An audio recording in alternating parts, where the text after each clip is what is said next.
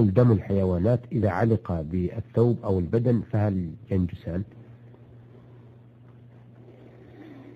يقسم العلماء الحيوانات إلى قسمين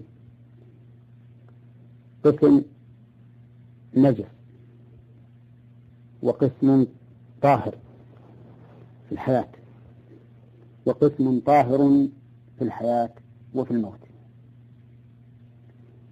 أما القسم النجس في الحياة وفي الموت فإن دمه نجس ويجب غسل قليله وكثيره وذلك مثل الكلب.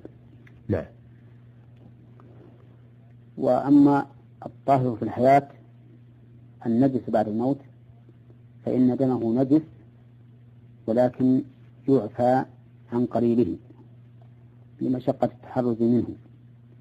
وذلك مثل دم بهيمة الأنعام كالإبل والبقر والغنم فإن هذه طاهرة في حياتها وإذا ماتت بغير زكاة شرعية فإنها تكون نجسة. فيكون دمها نجسا ولكنه يعفى عن يسيره.